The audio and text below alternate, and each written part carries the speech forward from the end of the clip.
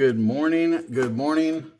I know it has been forever since I made a video, but here we are today. We got some new stuff. This is another, you know, what's in the box. You guys will never know. Maybe you will if I give you some hints. Whatever. Today we got something pretty special. It's a little different than what we normally have, but we are going to quit wasting your guys' time. Throw that over there. And pop this bad boy open. So, like I said, it's a little different than what we normally have here on the channel, but I think you guys are going to like it. And it is some grocery ads. That's what you get.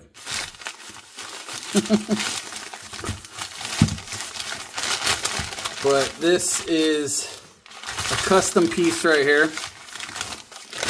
that was made from an amazing blacksmith based out of Arizona. Got a Instagram, uh, Stray Cat Knives. This is Instagram. I'll try to link something inside the um, comments below, something like that, in case you guys are interested. We got a little special, bag special right here. Well, this is what we got. Look at that bad boy. A little custom stamping right there. Oh, well, that's going to come up. But check those out. Solid. This is a half inch. Like I said, this is uh, from Stray Cat Knives. This is Instagram. Just wanted to give a huge shout out to this guy. I bought a couple different pieces from him.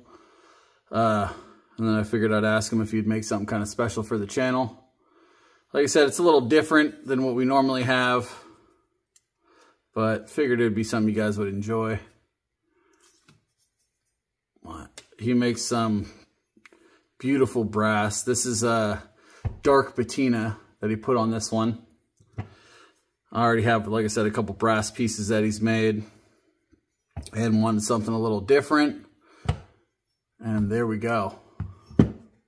That is what we got. Figured I'd just make a little quick short video, you know, not too long.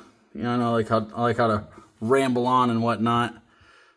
But there it is. Hope you guys like it.